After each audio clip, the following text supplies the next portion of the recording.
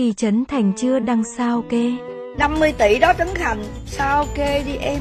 50 tỷ cho em đó sao kê và ló đầu ra Sau khi nghe tin Trấn Thành đăng sao kê thì? Trấn Thành đăng sao kê hả? Bây giờ có đăng hay không đăng thì phải làm việc với cơ quan nhà nước chứ làm sao mà đăng được.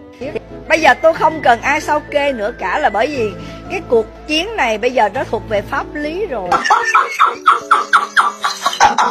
Trước kia hứa sẽ mua vaccine các kiểu.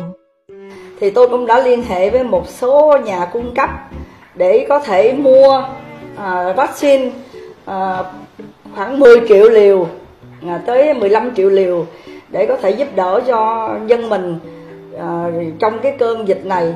Sau khi hết thuốc ngủ, cô tính toán lại, số tiền quá lớn nên Tôi có thể cống hiến tất cả mọi thứ để giúp đỡ cho chính phủ nhưng tôi không mua vaccine đâu bởi vì tôi không biết trong vaccine nó có cái gì lỡ chích cho ai đó nó không phù hợp.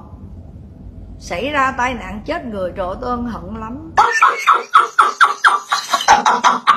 Thử thách hai tuần nuôi tóc dài. nếu mà trong một tháng nữa đó nha Đinh Lan là tao trừ hao cho mày hơi bị nhiều rồi đó 15 ngày thôi. Mà mày không bị bắt á tôi thề quý vị tôi cạo đầu xuống tóc luôn. Hứa với Bình Lan câu xanh dần Chợt tỉnh dậy, quên rằng đang cách ly xã hội, nên thôi từ từ hãng cạo. nhưng mà bây giờ đang mùa dịch vì nó không phải là tội phạm giết người cho nên cũng không cần phải vội. Bởi vì ai đã ở đâu ở yên đó? Đó là lời hờ lời hứa danh dự của tôi. Đó nha quý vị